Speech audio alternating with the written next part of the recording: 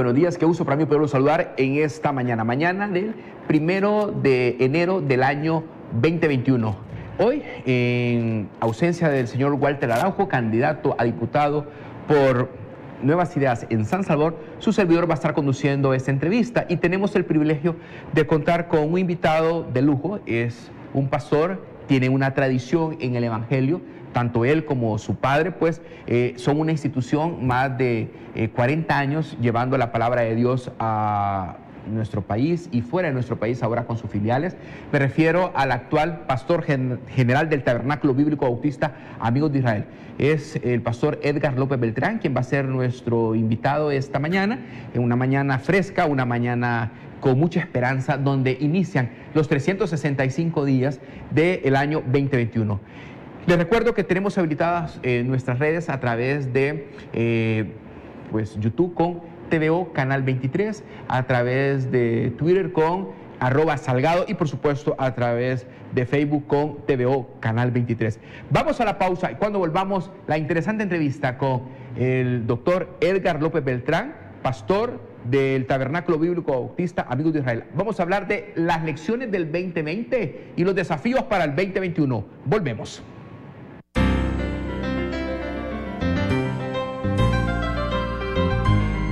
Hablemos Claro con el licenciado Will Salgado. Todos los miércoles, jueves y viernes a las 8 de la noche. Tú tienes una cita con el único programa de opinión donde se habla claro. Desde San Salvador para todo el país y los hermanos lejanos. Sintonízalo por TVO Canal 23 Señal Abierta. Por Claro en el Canal 24 y Tigo Canal 23. Transmisión en vivo, simultáneo en todas nuestras redes sociales. Facebook TVO Canal 23 Salgado. Twitter arroba TVO Canal 23. YouTube, TVO Canal 23. Hablemos claro con Will Salgado. ¿Por qué anunciarte con TVO Canal 23? Porque somos los líderes en la zona oriental, con la mejor tecnología, cubriendo con nuestra señal al aire todo el oriente de El Salvador y cobertura de señal en la red de cable en todo el país. Llegamos a más gente con nuestra variada y entretenida programación. Usted se anuncia en cualquiera de nuestras franjas o programas en vivo con excelentes tarifas. Contamos con más de medio millón de likes y seguidores en nuestras redes sociales. Anunciarte en TVO Canal 23 es la mejor inversión para su empresa o negocio, porque usted anuncia sus productos y servicios en un medio de comunicación serio, actualizado con la tecnología y también responsable. Forme parte de nuestra cartera de clientes, forme parte de la gran familia de Televisión Oriental Canal 23. Suscríbete a nuestro canal de YouTube, Salgado TV Noticias con toda la información del acontecer político nacional y la Asamblea Legislativa. Infórmate y ponte al día de lo que ocurre en nuestro país El Salvador. Suscríbete a nuestro canal de YouTube, Salgado TV Noticias. Dale salud a tu vida con los mejores especialistas de la medicina. Realizarse un chequeo regularmente es la mejor inversión para su salud. Evite el sobrepeso y practique el ejercicio. Mantenga una alimentación sana. Le ayudará a que su organismo funcione mejor. Prevenir antes de curar es nuestro objetivo. Dale salud a tu vida lunes y miércoles a las 6 de la tarde, aquí en TVO Canal 23. Sintoniza Buenos Días Oriente, nuestra revista matutina de lunes a viernes de 8 a 11 de la mañana, donde encontrarás música, reportajes, entrevistas, artistas nacionales e internacionales, noticias, deportes farándula, consulta con el especialista, rutina de ejercicios, retos y más. Haz tus mañanas diferentes con Buenos Días Oriente. Controversia, programa de opinión, con análisis de la realidad nacional. Controversia, los días domingos, lunes y martes, 8 de la noche.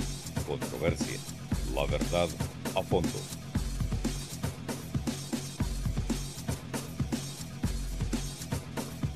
Hablemos claro con el licenciado Will Salgado. Todos los miércoles, jueves y viernes a las 8 de la noche. Tú tienes una cita con el único programa de opinión donde se habla claro.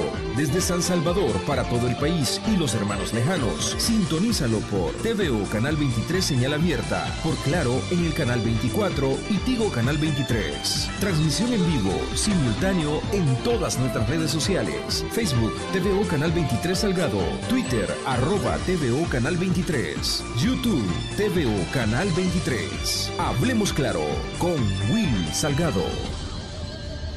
¿Por qué anunciarte con TVO Canal 23? Porque somos los líderes en la zona oriental, con la mejor tecnología, cubriendo con nuestra señal al aire todo el oriente de El Salvador y cobertura de señal en la red de cable en todo el país. Llegamos a más gente con nuestra variada y entretenida programación.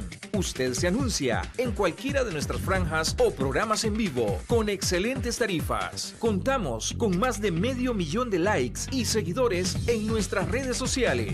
Anunciarte en TVO Canal 23 es la mejor inversión para su empresa o negocio, porque usted anuncia sus productos y servicios en un medio de comunicación serio, actualizado con la tecnología y también responsable. Forme parte de nuestra cartera de clientes. Forme parte de la gran familia de Televisión Oriental Canal 23. Suscríbete a nuestro canal de YouTube, Salgado TV Noticias con toda la información del acontecer político nacional y la Asamblea Legislativa. Infórmate y ponte al día de lo que ocurre en nuestro país El Salvador. Suscríbete a nuestro canal de YouTube, Salgado TV Noticias. Dale salud a tu... Qué gusto para mí poderlo saludar en este sábado, sábado 2 de enero del año 2021. Hoy voy a conversar con uno de los líderes religiosos más populares de nuestro país. Tiene trayectoria, su familia es sinónimo pues del evangelio en El Salvador y es que han ganado muchas almas. Me refiero a Edgar López Beltrán Jr., quien es el pastor general del Tabernáculo Bíblico Bautista Amigos de Israel, con quien tengo el privilegio de conversar esta tarde, esta tarde de sábado 2 de enero del 2021. Pastor, muy buenas tardes, feliz año para usted y toda la familia en esa gran iglesia como es el Tabernáculo Bíblico Bautista Amigos de Israel Central. José Luis, muy agradecido, feliz año para todos y esta tarde estamos conectados junto a José Luis Solórzano. Agradezco la paciencia, mi amigo, porque sí que nos hemos tirado piedra los dos todo el año, pero hoy coincidimos y qué mejor manera de hacerlo que en el año 2021 con una perspectiva muy dinámica para lo que puede suceder en nuestras vidas por la misericordia de Dios. Muchas gracias, José Luis. Muchas gracias a los amigos televidentes. Gracias a usted, Pastor. Pastor, yo permanentemente lo estoy siguiendo en redes. Usted tiene el consejo de hoy. Eh, quisiera saber cómo lo puede encontrar en redes, tanto de la iglesia, el Tabernáculo Bíblico Bautista Amigos de Israel, como de Toby Junior. Usted está en Instagram, está en Facebook y está en Twitter. Bueno, José Luis, estamos como Toby JR Taber. Así que si quiere buscarnos en Twitter para el consejo de hoy y algunos memes, ¿verdad? Es arroba TobyJR Lo mismo tenemos ese canal en YouTube, estamos también en Spotify, estamos también en el podcast que puede sacarlo, es completamente gratuito. Y la intención, José Luis, eh, no solamente es trascender, sino influir. La palabra es influir de una manera positiva, de una manera eh, proactiva en el quehacer de nuestra vida diaria acá en El Salvador. Ahora, ¿cómo la iglesia inicia el 2021? Eh, durante su predicación del día 31 de diciembre, usted tituló el punto de partida, pero también es el año de la bendición, pastor. Totalmente. Y la bendición, José Luis, no depende de las cosas que perdimos ni de las cosas que podemos llegar a obtener a lo largo de nuestra vida y o del año 2021. Nuestra bendición consiste y radica en la compañía de Dios en todas las etapas de la vida. Entonces, Luis, entiendo y respeto que habrán personas que el día de hoy aún se lamentan, están lamentándose por esa golpiza, por esas lecciones que el 2020 nos dejó, y debo de simplemente invitarle a que reaccione y dé gracias. Luis, demos gracias porque si estamos lamentándonos es porque tenemos vida, José Luis. Y si tenemos vida, por supuesto tenemos esperanza. Ahora, cuando me pregunta el año de mi bendición, estamos queriendo eh, invitar a la congregación, a los amigos, a que hagamos un esfuerzo conjunto, porque la bendición en la Biblia, de todos los ángulos que usted la quiera ver, llega por dos razones. La primera, José Luis, por la misericordia de Dios. Llamemos misericordia de Dios es algo no merecido. Y la segunda es por obediencia. Entonces, si combinamos nosotros la obediencia con la misericordia de Dios, tenemos la fórmula ganadora para que este o cualquier otro año se convierta en el año de nuestra bendición. Para poner un fundamento, un contexto, nosotros hemos tomado una cita bíblica del Evangelio de Juan. José Luis y amigos, el Evangelio de Juan es fascinante. Es fascinante porque tiene o contiene siete señales que muestran que Jesús es Dios, para comenzar.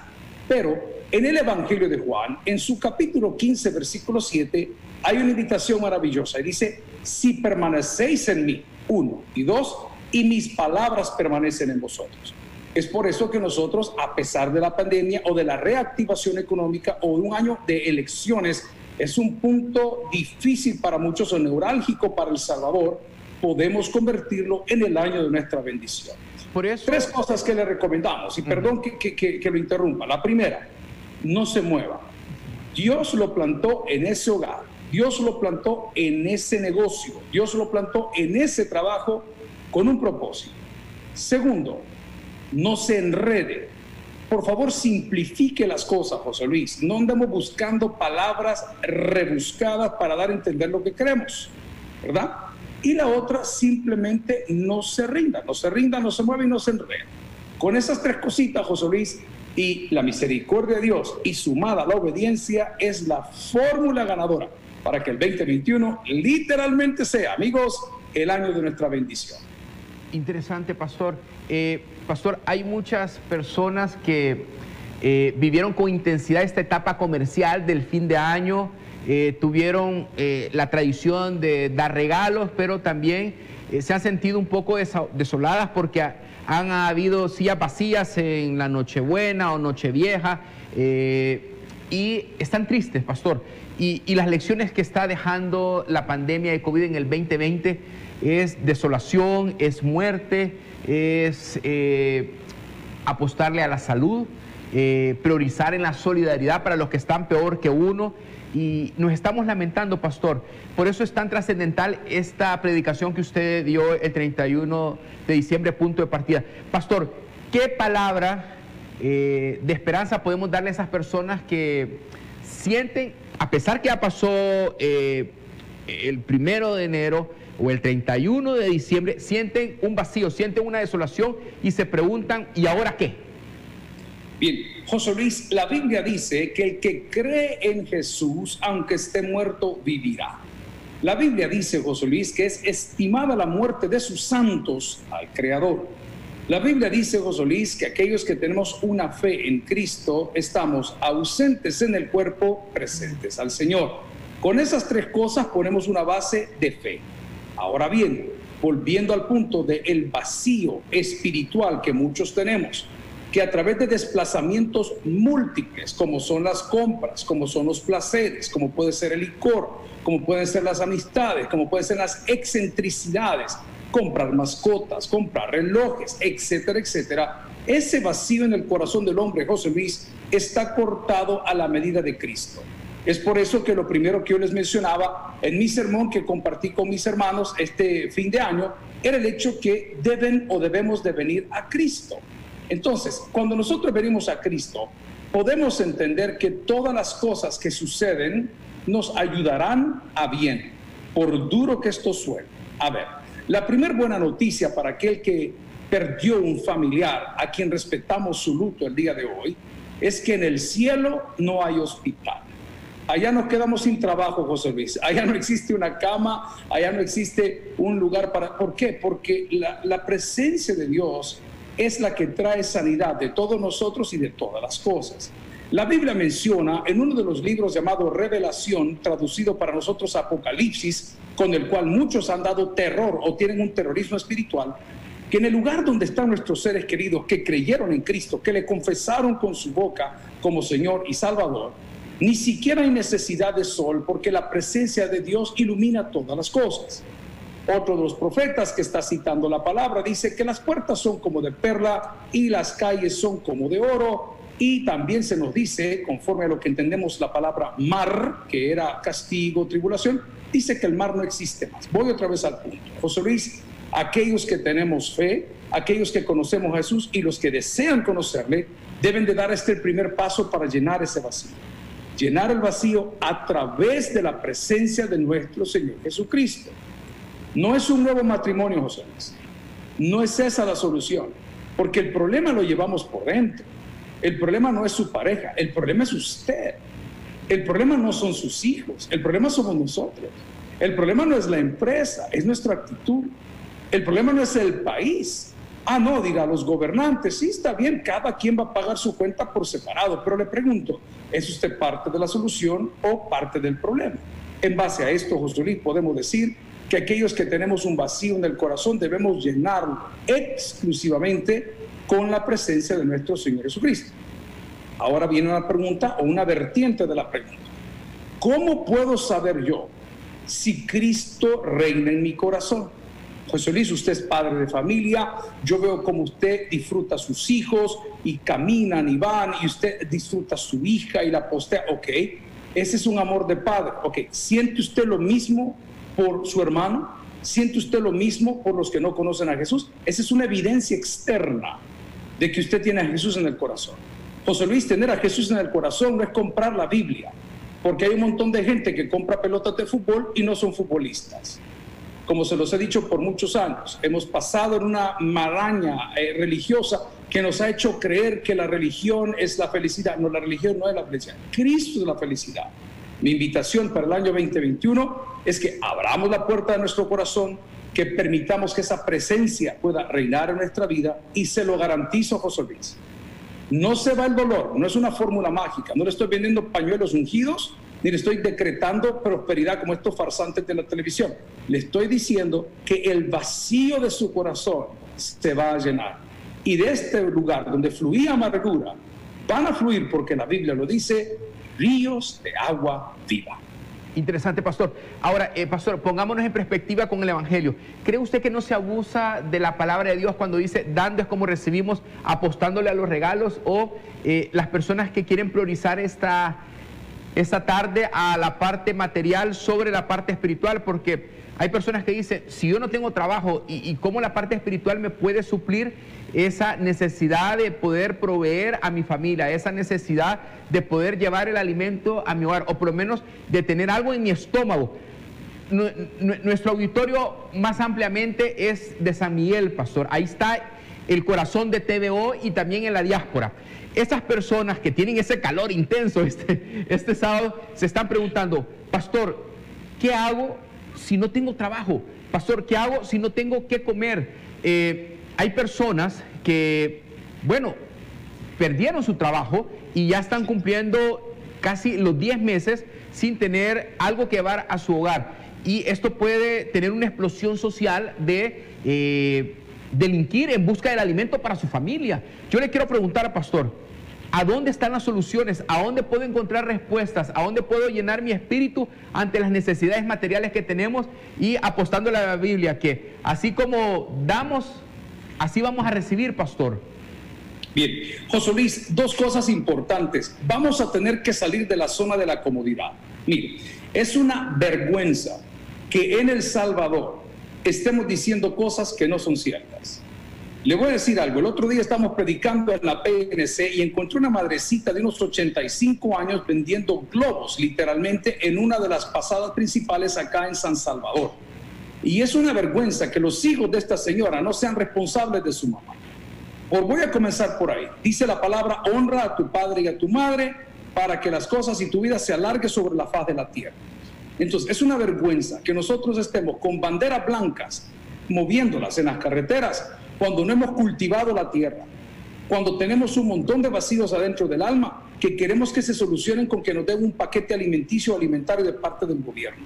El que no tiene trabajo, dice la palabra, ahí dice, el que no trabaja, que no coma. Eso es bíblico, eso nadie se lo predica. La Biblia dice, el obrero es digno de su salario. Los salvadoreños somos una raza especial. Ustedes, amigos en Oriente, hermanos de la diáspora, lo saben.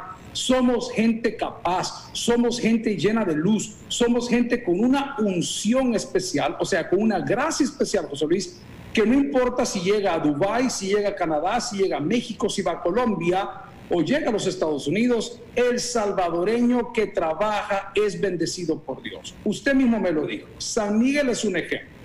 Esa ciudad ha crecido impresionantemente. Hay emprendedurismo, hay ventas de ropa, hay panaderías, hay ventas de fruta. Mire, es que el que se queje es el Aragán. Y el problema es que el Aragán quiere arreglar las cosas orando. Orando no se arreglan las cosas. Trabajando se arreglan las cosas. Y Dios nos da la fuerza. Claro, habrá uno, dos, que tres casos que definitivamente podemos decir, José Luis, hombre, las puertas se cerraron, pero yo soy testigo de nuestros hermanos de la congregación que perdieron sus trabajos y aparte de eso, José Luis, perdieron familiares, pero no perdieron el brillo, no perdieron la esperanza y no perdieron el deseo de tener una mejor vida. Entonces, este asunto de dónde es como recibimos, miren, hemos sacado los textos de contexto para poner pretexto. La última vez que nos vimos, José Luis, estábamos nosotros en otro canal de televisión. Yo no lo había usted perdido por la, ay, ya no estoy, mire dónde está ahora. Y Dios nos lleva de gloria en gloria y de victoria en victoria. Usted se ha preparado, usted de la universidad, ¿me entiende lo que le digo? Ha diversificado. Le hago una pregunta. No le es un insulto a usted que vengan a decirle, no, en El Salvador no se puede. No, en El Salvador no se sale adelante. No, no se sale adelante viviendo como una persona que no soy. No se sale adelante gastando mi saldo en un café, en un teléfono, en una tablet, cuando no tengo para pagar la renta. Entonces, el problema, José Luis, en, en su 100% no tengo una respuesta, pero en el 50% es la actitud de cada persona, cómo afrontamos las necesidades que tenemos en este tipo de problemas como lo es la obtención de un trabajo. Diversifique, emprenda, inicie. Dios sabe de qué cosas tenemos necesidad, dice la palabra, aún sin pedirlo. Y dice, si tú no me crees, lo estoy parafraseando, vean las aves del campo, que no hilan, que ni siembran, y Dios las alimenta. Así que estoy hablando en fe, estoy proyectándome hacia la persona que está llena de quejas para decirle que el 2021 es el año de su bendición. Dios hará que las cosas sucedan. Pero el que se tiene que levantar de la hamaca, ese es usted, querido. Dios está listo para ayudarnos. Interesante, pastor. Hábleme un poco del Tabernáculo Bíblico Bautista Amigos de Israel. Durante la pandemia usted dijo que ahí estaban los edificios, que, pues sí, eh, las personas se tuvieron que quedar en su casa y tuvieron que usted diversificarse y sobre todo ver la posibilidad de que la palabra llegara hasta los hogares de las personas. Cerraron el templo, se fueron a una capilla más pequeña, ahora han regresado con las medidas de bioseguridad, pero ¿qué lección aprendió usted como pastor de una de las iglesias más importantes y más grandes del país, pastor? José Luis, agradecido, humildemente le digo, hay iglesias más grandes, hay mucho mejores iglesias, pero yo les sigo agradeciendo a Dios la que me ha prestado. Recordando que este simplemente es un privilegio el administrar un grupo de iglesias a nivel nacional e internacional. Bueno, José Luis, el punto de partida fue eh, cuando comenzó la pandemia, nosotros como iglesia nos vimos en la responsabilidad de utilizar los edificios de la gente para la gente. Las iglesias no son empresa privada las iglesias están para ayudar a las personas. Y si usted que me ve, no solo en el oriente del país, sino en la diáspora, usted que me ve aquí en El Salvador, si la iglesia donde usted se congrega no ayuda, eso no es una iglesia, eso es un club de religiosos. Las iglesias son para ayudar a las personas a encontrar respuestas, a encontrarse con su familia, por supuesto a encontrarse con Dios. Cuando comenzó la pandemia, José Luis, nos vimos en la necesidad de decir, señores, si no hay hospitales, porque el Hospital El Salvador en ninguno de sus dos eh, anexos estaba construido, eh, yo hablé con mi pastor eh, a Canadá y le digo, Pastor David, tengo esto y esto en mi corazón, que es facilitar los edificios de la iglesia para que puedan poner en esos lugares camas de hospital o cosas como esta. José Luis, como ya lo saben, hubo una mala prensa terrible para con nosotros. Eh, no había un día que la prensa no sacara un mal comentario de nuestro edificio Gamaliel, que fue algo que se hizo en la época de mi padre, fundador de esta institución, para preparar a seminaristas o a pastores o a predicadores o a misioneros o a maestros. Entonces, eh, cuando abrimos las puertas, no solamente las abrimos en San Salvador, abrimos las puertas a nivel nacional e internacional. Los varados de este movimiento Varados SB y las cosas que han escuchado también tuvieron oportunidad de estar en muchas de nuestras congregaciones fuera de las fronteras patrias, desde Italia hasta Estados Unidos. Hablábamos con los predicadores, decíamos, oigan, eh, demos algo, sembremos algo, démosles alimento, veamos cómo vamos al consulado, cómo les ayudamos con sus papeles, con sus traslados. Y así fue como recibimos nosotros la pandemia en aquel entonces. Por supuesto, cuando no se nos obligó, y debo de aclararlo, a la iglesia cristiana evangélica ni católica nunca se nos ha obligado a cerrar, simplemente se nos dio la sugerencia de decir, señores, por amor a la gente. Y nosotros, José Luis, lo hicimos por amor a la gente. Cerramos el templo y pasamos nuestras 14 celebraciones a nivel virtual. Esto significa, José Luis, que yo doy los horarios. Domingo 7, 9, 11, 2 y 4 son 5. Están virtualmente. Lunes por la mañana a las 6 de la mañana y lunes por la tarde a las 6 de la tarde están virtualmente. Martes 6 de la tarde, miércoles 6 de la mañana y 6 de la tarde. Luego estudio bíblico de jueves, sábado de milagros, culto de jóvenes y culto de oración. Todo eso lo pasamos ahora a nivel virtual. Las plataformas que tenemos, usted la mencionaba, José Luis, no es primera vez que las trabajamos, estamos en streaming a través de un app propio de la iglesia, completamente gratuito también, y comenzamos a funcionar. Las puertas del templo per se se cerraron en un local, pero se abrieron al universo, a la universalidad del pensamiento a través de todas las plataformas digitales y del canal de televisión que hoy por hoy Dios nos permite tener y de la estación de radio. Saludo a los de Morazán, La Unión, San Miguel, Usulután, ahora en una sola frecuencia 89.7. Todo esto se ha hecho a lo largo de la pandemia.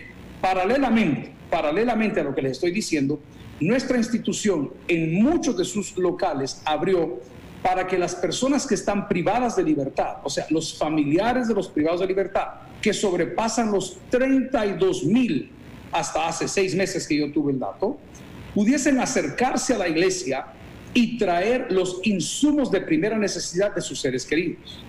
O sea, que la gente venía con la colchoneta, con el jabón, con la pasta de dientes, con el short, con los crocs, con las camisas y o medicamentos. Aparte de eso, abrimos nuestras iglesias para que los custodios de los centros penitenciarios o centros de menores pudiesen tener un lugar de resguardo para no contaminarse ni contagiar a los inmates, a los reos, con este asunto del coronavirus. Entonces, en algunas teníamos a la gente que estaba en cuarentena, en otras teníamos abiertas las puertas para recibir los alimentos y todos los insumos de los privados de libertad, y en otras teníamos dormitorios para los custodios que hoy usted lo ve en diferentes lugares de San Salvador. Aparte de eso, pues no dejamos de proyectar la palabra de fe, la palabra de esperanza, nosotros le llamamos ganar almas, el hecho de proyectar a Jesucristo en la vida de cada uno de nosotros. ¿Qué ha sucedido hoy, José Luis? Escribimos un protocolo para el reingreso de nuestros hermanos a la iglesia. Hemos estado allá en Gamaliel y me lo han preguntado y quisiera también aclararlo. Nosotros en ningún momento hemos recibido ni recibiremos ningún tipo de ayuda directa del gobierno de El Salvador. Nunca lo hemos hecho y no está en nuestros planes recibirlo. Cuando nosotros prestamos nuestros edificios es de manera gratuita. Y es más, cuando abandonaron el edificio, los que estuvieron ahí, eh, no sé si llamarle en cuarentena, retenidos, porque no me compete, porque yo presté un edificio, no lo administré yo, no lo cuidé yo, no lo protegí yo, simplemente nos dejaron atrocidades hechas ahí arriba en nuestro edificio. Se perdieron computadoras del seminario, rompieron todos los cuadros y asuntos dentro de ahí, jugaban fútbol dentro del templo, el bautisterio lo ocuparon de jacuzzi, los baños estaban completamente destruidos y a pesar de todo eso, eso no lo hizo el gobierno, no, no, no, lo hicieron los que llevaron ahí, a ese lugar, o por cólera, por lo que haya sido. Cuando terminó esto, me dirigí, tengo la carta y los documentos claros cuando le dije al señor del MOP, caballero, muchas gracias, hasta aquí llegamos, ya no lo van a ocupar. No me dijo, perfecto, nosotros lo vamos a arreglar. Así que nosotros desmontamos baños, desmontamos esto. Me tocaba sacar los, los galones de 5 o 6 galones de orines que estaban distribuidos en todo el edificio. Algo difícil. Eh, pero voy otra vez al punto, José Luis. Nosotros estamos para servir. Si yo ando como una Magdalena todo el tiempo diciendo lo que estoy hablando con usted porque usted es mi amigo, entonces me va a decir, ¿y este que es el llorón? No, no, no, no. Solo quiero que entienda que nosotros estamos para servir. Y una vez más le digo, tome buenas decisiones. Si este 2021 su comunidad cristiana no hace nada por el prójimo, usted asiste a un club de religiosos, no a una iglesia. Ahora, pastor, eh, tengo que decirlo, usted mencionó la mala prensa que destacó cosas negativas del edificio Gamaliel. Yo le quiero preguntar a usted si usted mantiene la visión del pastor general, fundador de la iglesia, en el orden de respetar las autoridades civiles y acompañar al gobierno de turno en atención de las necesidades de la población. En este caso, yo le digo, usted mantiene el apoyo a la administración del presidente Nayib Bukele. He escuchado algunas eh, predicaciones en donde usted ha dicho que solamente se está enfocando el pelo en la sopa que no ven las cosas buenas que ha hecho este gobierno, que ha hecho un hospital, que está salvando vidas y que es ahí donde se toman las decisiones para resguardarnos. Y el salvadoreño es necio, el salvadoreño eh, le gusta ir en contracorriente, pastor. Bueno, nosotros estamos para apoyar a los salvadoreños. Nosotros hemos tenido el privilegio de ver pasar desde los firmantes del acuerdo de paz, presidente Calderón Sol, luego pasó el señor Flores en el orden que vengan, luego pasó el señor que está ya muy buen amigo del grupo Samix, luego pasa el señor Funes, luego pasa el profesor, luego está de turno el presidente Bukele y todos estos presidentes he tenido el privilegio de conocerlos. He tenido el privilegio de servir en diferentes puntos de la iglesia, no del gobierno. Yo no apoyo un gobierno, yo apoyo salvadoreños. Yo no apoyo específicamente un partido. Y si usted me preguntaba qué cambió entre mi padre y su servidor, es que la casa del Señor aquí se respeta Aquí no es cuna ni, ni caldo de políticos para que vengan a pedir favores. Nuestro púlpito no es para exhibir ofertas de gobierno, eso háganlo en sus campañas. Pero si quieren asistir y quieren escuchar palabra, bienvenido sea. Por ejemplo, Ernesto Mason vino a cortar la cinta de reinauguración de nuestro templo. ¿Apoyo yo Ernesto Mason o no lo apoyo? No, nosotros invitamos al alcalde a una función por ser el alcalde para que corte la cinta del templo. En el caso del presidente Bukele, eh, nos han hecho la pregunta y nos asocia. No, nosotros apoyamos a todo aquel que esté en ayuda y que quiera ayudar a los salvadoreños y a las salvadoreñas. Ese es nuestro punto de vista, José Luis. Pero sí debo de hacer hincapié en que mi padre era un más eh, tirado a, a las cosas políticas, a tener amigos. Yo creo que los amigos no se buscan. Los amigos más bellos de la vida, pues los encuentro uno en el camino Caso usted y yo nos hicimos amigos por cosas de la vida. Ni usted me buscó a mí, ni yo lo busqué a usted, y sin embargo tenemos una amistad casi divorciada, pero funciona, está bien. Pastor, eh, quisiera eh, consultarle, eh, ya prácticamente estamos a, a, menos de 50 días para las próximas elecciones municipales y también legislativas y del Parlamento Centroamericano. La iglesia va a continuar recibiendo candidatos a diputados, candidatos a alcaldes para que escuchen la palabra de Dios. ¿Está abierta la iglesia para ellos? La iglesia está abierta para todos. Eh, si van a venir, qué bueno, pero debo de respetarles a todos. Entonces yo estoy en un dilema, José Luis, porque, por ejemplo, yo estoy en un canal cristiano y por eso le agradezco de todo corazón que me haya aceptado la deferencia de hacer este programa en este método eh, porque no puedo yo pegarme ni es mi rol apoyar directamente a ninguno de los candidatos. Tenemos buenísimos candidatos aquí que son miembros de la iglesia. Tenemos muchachos que en otro tiempo fungieron en una obra, en un ministerio, y ellos han separado su labor porque quieren ser políticos. Pero la iglesia está abierta para todos. Lo que sí no van a ver, por ejemplo, eh, antes del fin de año, me estaban invitando al lanzamiento de una campaña y yo les agradezco de alma y de corazón, pero debo de respetar a las personas de mi iglesia que no piensan como ellos piensan. Debo de respetar a las personas de mi iglesia que no piensan como yo pienso. Entonces, mi rol en esta entrevista, en el púlpito, en la iglesia, es un rol universal. Bienvenidos sean. Yo nunca he visto que publiquen mala prensa o que hagan mala prensa cuando los candidatos van a misa. No vaya a ser que pónganle pie en una iglesia evangélica que nos avientan hasta piedras. Entonces, para ser inteligentes, decidimos el no participar de estas cosas. Bienvenido sea, pero que vamos a prestar el púlpito para que den sus ponencias, la respuesta sería no. Ahora bien, si están en un grupo o, ya llegaron al cargo, le voy a hacer una remembranza. Yo tuve el privilegio, José Luis, en aquel entonces de tener a la primera y única vicepresidenta del Salvador, dándole una charla a las mujeres de la iglesia. Y en aquel entonces era vicepresidente. Eh, en ese tipo de eventos considero de que no estamos mezclando las votaciones, las elecciones o la política, sino es el rol del presidente o de la vicepresidenta y o del diputado fulano en X. Pero en esta temporada la respuesta es no. Eh, vamos a guardar distancia, vamos a ser prudentes y vamos a apoyar a todos, a todos por igual. Porque lo importante es, José Luis, que en nuestra Asamblea Legislativa no haya una planadora. No, no, no. Lo importante es que usted y yo nos sintamos representados, pesos y contrapesos. Eso es muy importante. Que hay un partido favorito, definitivamente que lo hay. Que van a sacar muchos diputados, definitivamente que sí los van a tener. Pero mi deber es apegarme y apoyarme en la Biblia y decir, señores, se necesitan pesos y contrapesos para que no nos vaya a torcer para ningún lado este asunto. Perfecto. Vamos a hacer nuestra primera pausa, pastor. Amigos eh, televidentes, mantengan la sintonía. Volvemos en breve. Hoy converso con el pastor del Tabernáculo Bíblico Bautista Amigos de Israel Central, Edgar López Beltrán Jr. Volvemos. Hablemos claro con el licenciado Will Salgado. Todos los miércoles, jueves y viernes a las 8 de la noche. Tú tienes una cita con el único programa de opinión donde se habla claro.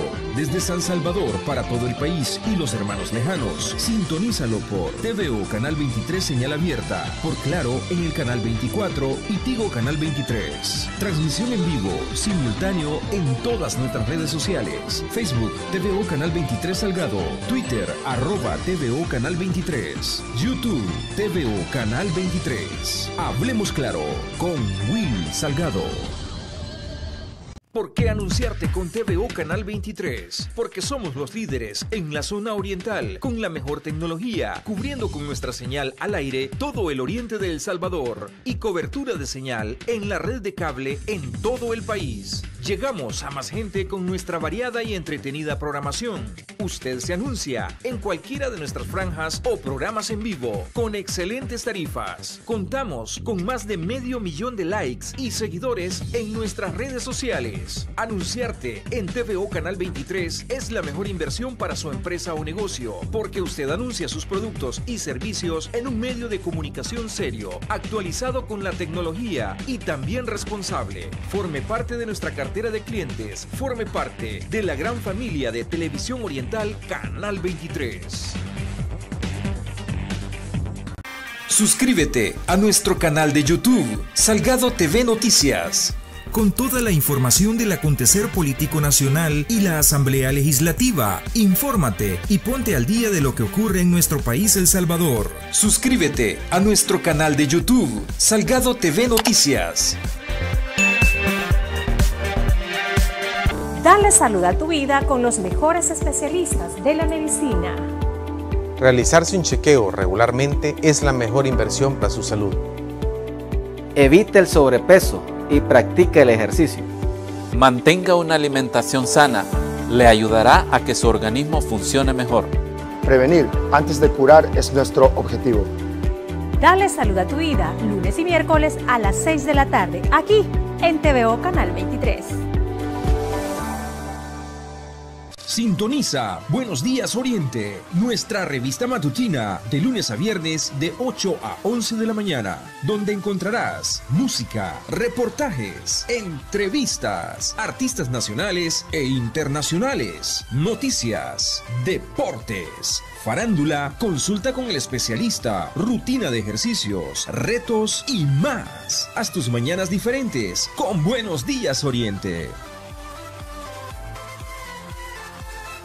Controversia, programa de opinión, con análisis de la realidad nacional. Controversia, los días domingo, lunes y martes, 8 de la noche. Controversia, la verdad a fondo.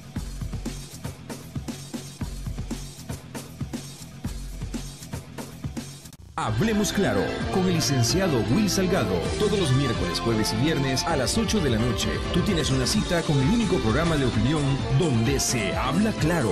Desde San Salvador para todo el país y los hermanos lejanos. Sintonízalo por TVO Canal 23 Señal Abierta. Por Claro en el Canal 24 y Tigo Canal 23. Transmisión en vivo, simultáneo en todas nuestras redes sociales. Facebook TVO Canal 23 Salgado. Twitter arroba TVO Canal 23. YouTube, TVO Canal 23. Hablemos claro con Will Salgado.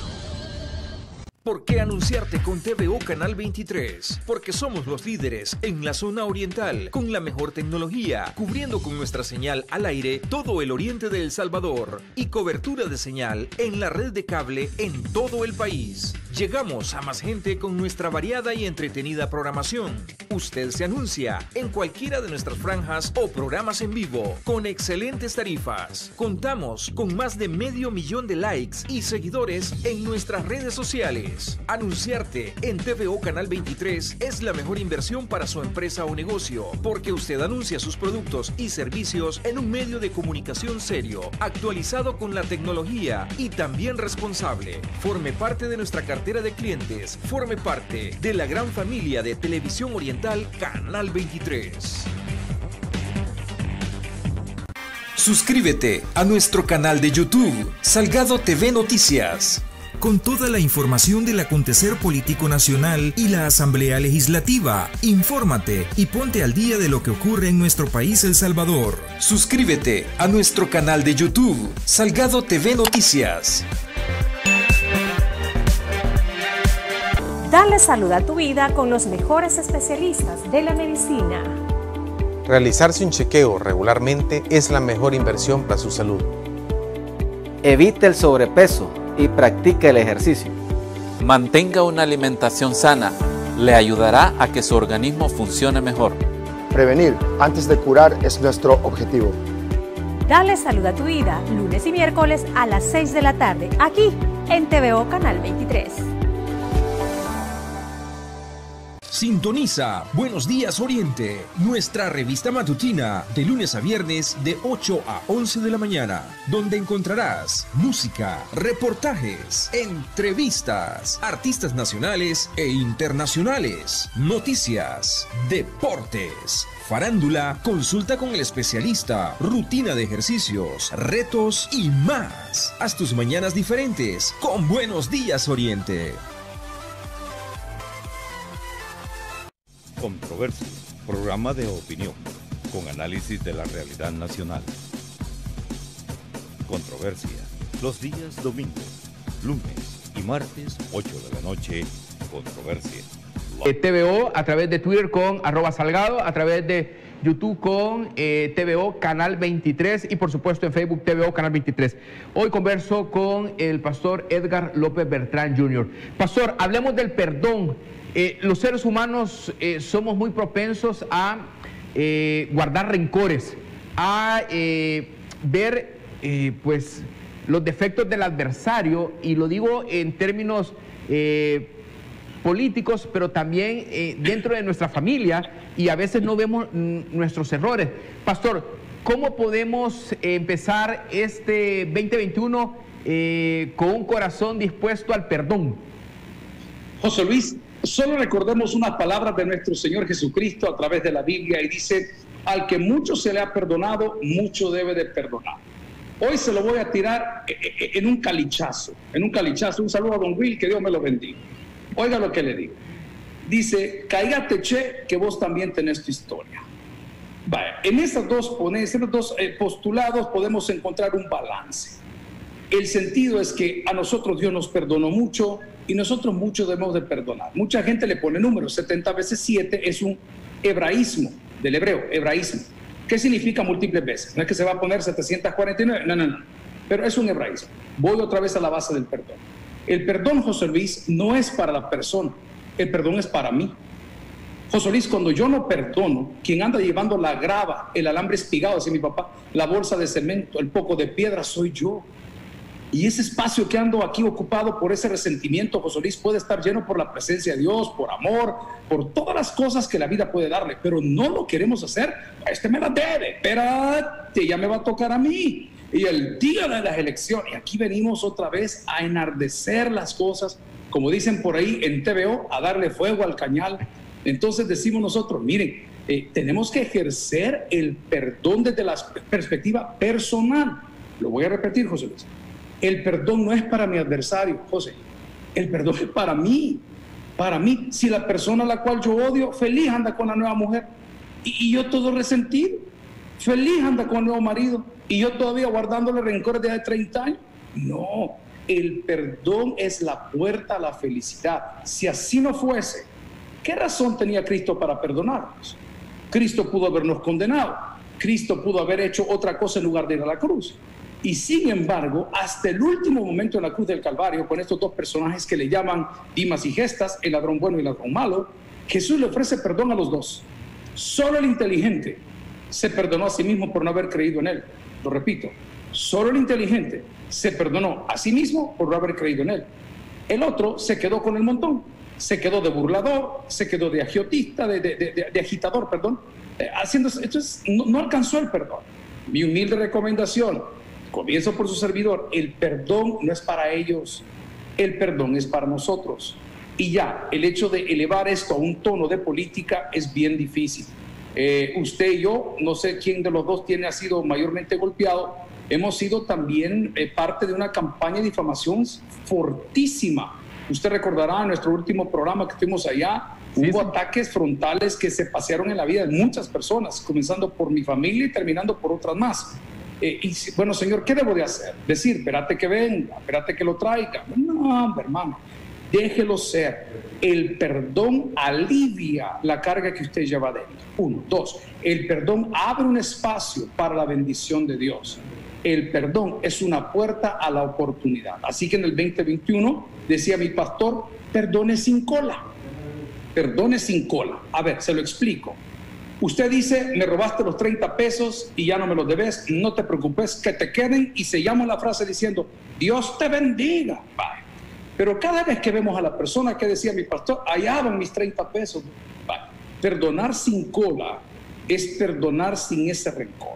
La humilde recomendación es que tengamos la valentía de perdonarnos nosotros, porque Dios nos ha perdonado demasiado como para que nosotros le estemos sacando en cara cosas que las otras personas nos pudieron haber hecho a nosotros. Ahora, pastor, eh, hablamos del perdón, hablemos de la reconciliación. Estamos a 14 días de conmemorar los 29 años de los acuerdos de paz. Dejaron 75 mil personas muertas, enfrentadas, o sea, hombre contra hombre, familia contra familia. Pastor, ¿por qué no nos podemos volver a reconciliar ahora?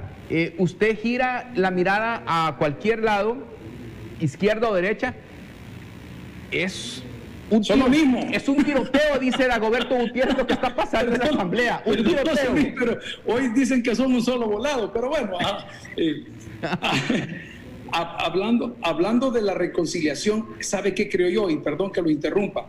Eh, nos hace falta lo principal. Eh, es el catalizador, el, catalítico. Cuando usted está trabajando la fibra de vidrio, Ajá. usted va colocando primero la fibra cortada, es vidrio, es vidrio como el que usted conoce, es vidrio, es wiste, ¿ok? Pone el papel, luego le pone la fibra, ahí está, derecha, izquierda, pero le falta el catalítico, el catalizador, ese es Dios, ese es Dios, ese es lo que hace que todo se consolide y se ponga fuerte y no se mueva. Entonces, si nosotros no tenemos el perdón de Dios, no tendremos la capacidad para perdonar, porque no entendemos el perdón. La gente cree que perdonar es guardar la memoria en un lugar especial de la ofensa o de la bendición. No, no, el perdón es un borrón y cuenta nueva. Es que yo José Luis ya no le voy a decir José Luis porque ya no se va a llamar José Luis, se va a llamar Carlos. Entonces la próxima vez que lo vea y te acordás José Luis antes que te llamaras Carlos. No existe tal cosa. Ahora, este asunto de la guerra y los 75 mil muertos, hubo muchos, muchos, muchos enlutados. En cuenta, mi primer maestro de escuela dominical, era dueño de una gasolinera Shell que estaba por la Sacamil y él fue secuestrado en la época de la guerra por pedir su ransom, su, su rescate, y en medio de la operación del secuestro, pues él fue asesinado. Y así muchos pastores en San Miguel. En la iglesia en San Miguel sufrió muchísimo yo recuerdo que usted salía a carretera, por decir al Cuco, toda esa zona, yo estaba muy chamaco, tengo 52 años, Luis, pero ya tenía el uso de razón, 13, 14 años, ya los teníamos fácil. Entonces, cuando papá andaba predicando de arriba abajo en un volvaje en escarabajo con un trío adentro del carro para cantar en las iglesias, tuvimos eh, situaciones difíciles donde hubo que, hacer una parada y platicar con los compas y kilómetros más adelante platicar con, con la guardia o con el ejército. Ahora, eh, eh, sería una tristeza que olvidemos este evento, sería una tristeza que no consideremos bien eh, lo que aquí sucedió. Pero sería una tristeza que sigamos queriendo reconciliarnos sin el ingrediente indispensable que es el perdón de Dios. Estando en la universidad, José Luis, uno de mis catedráticos fue firmante de los acuerdos de paz. Y yo agradezco a mi profesor Roberto porque siempre nos hablaba y nos decía, jóvenes, jóvenes, nos hacen falta los acuerdos de paz social, social, nos hemos quedado cortos. Creemos que ese asunto que vamos a hacer el 29, no, no, hay un poquito, hay que ir un poco más allá, José Luis. Ahora bien, usted y yo sabemos que esto no se va a lograr antagónicamente, no se puede. Tiene que haber una negociación. Y cuando hablamos de una negociación, José Luis, usted sabe que significa que me voy a sentar a una mesa con deseo de ceder en algo. Yo no puedo tener una negociación que todo venga a mi favor, entonces no es negociación. Negociación es sentarme a la mesa sabiendo que yo debo de ceder en algo. Y donde hay demasiado um, confrontación, demasiado orgullo, las cosas se complican. Entonces, para estos 29 años de los acuerdos de paz, creo que de ambos, o de los tres lados, o de los dos lados, debemos poner cada uno de su parte. La iglesia católica en aquel entonces fueron los mediadores, gloria a Dios por ellos, bendecimos sus vidas, pero terminemos de hacer la labor, toda la iglesia, la iglesia cristiana, los que creemos en Cristo. Así que a las puertas de la celebración del 29 aniversario de los acuerdos de paz, no vamos a poder vivir en paz si el príncipe de paz, que es Cristo, no vive en nuestros corazones. Ahora, pastor, eh, eh, en nuestro país, en nuestras familias hay rencores. Eh, es sorprendente cómo el ser humano puede superar diferencias. Usted mira en la Asamblea Legislativa cómo Arena y el FMLN están como en una alianza temporal o alianza política en contra del gobierno. Yo le quiero preguntar, ¿se pueden superar estos rencores en la política? ¿Se pueden superar estos rencores en la familia? José Luis, si el, si el tema fuera el pueblo salvadoreño, sí, pero el tema no es el pueblo salvadoreño. El tema es una lucha de poder. Se lo voy a poner desde mi, perspectiva y ya vamos poniendo bonito este asunto. Mire, cuando se dice solamente la asamblea puede darle permiso para cerrar, para poner, para quitar, pero la asamblea no se lo quiere dar. Pero la gente se sigue muriendo y la gente quiere seguir saliendo. Entonces dice, ah, yo mando aquí, amigo y hermano, voy otra vez al punto. No vamos a lograr absolutamente nada si lo principal aquí no es el pueblo salvadoreño. Se lo voy a poner desde esta perspectiva que dijo el apóstol Pablo. Todo me es lícito, pero no todo me conviene. Todo me es lícito, pero no todo me edifica. Yo estoy de acuerdo en que ambos pueden ejercer poder, los tres órganos, ¿verdad? El ejecutivo, el legislativo y el judicial. Pero si el centro del proyecto es el país, se van a poner de acuerdo. Si el centro del proyecto no es el país, sino el poder, las prestaciones y las cosas que han sucedido, entonces no vamos a llegar a nada. Yo no soy asesor, me encantaría que me digan, hey pastor, ¿querés ser mi asesor? Con mucho gusto, tal vez en alguna de las locuras que digo le sirve algo pero no se dejan asesorar, porque ellos ya van a la mesa de negociación, no a negociar, van con un capricho. Y cuando dos caprichosos se sientan, se van a reventar los unes. No va a haber conciliación. Entonces es importante saber que el proyecto que tenemos de los tres órganos del Estado, del legislativo, del judicial y del ejecutivo, tiene que ser el Salvador. Si ponemos al Salvador en medio, todo lo que haga, lo que legisle, lo que ejecute y lo que juzgue, va a ayudar al Salvador. Pero hoy por hoy pues vemos que eso está entrampado. Mi deber es orar, mi deber es ayudar, mi deber es empujar cuando las carretas se entrampan en este tipo de temas. Interesante, pastor. Hablemos del odio. ¿Por qué del odio, pastor? Eh, se escuchan palabras de odio desde la Asamblea al Ejecutivo y del Ejecutivo a la Asamblea Legislativa. Y de pronto uno dice, ¿y a dónde está el diálogo? Pero para el diálogo, usted ha dicho algo importante en el púlpito, dice que lo que se trata es de, no se trata de aceptar a Cristo, sino que Cristo me acepte a mí, pastor. Sí. bueno, este voy a sacarlo de contexto un poco. Esa frase, José Luis, es porque pareciera que yo le hago un favor. Yo le hago un favor a Cristo dejándolo vivir en mi vida. Voy a partir de cero. ¿Quién es Dios? Es Cristo. Entonces yo no puedo venir a decir, yo te acepto. Un momentito, hago una pausa. Quien lo acepta a nosotros, a usted, es Él. Entonces, esa es mi manera de, de, hablarle a la gente que dice, yo no quiero nada con Dios. Y a mí me encanta que me lo digan, porque dice, yo no quiero nada con los pastores. Menos mal, porque yo tampoco quiero con vos. Pero me encanta cuando me dicen a mí, yo no quiero nada con Dios. Aquí le tengo la noticia del 2021. Ni Dios quiere nada con usted.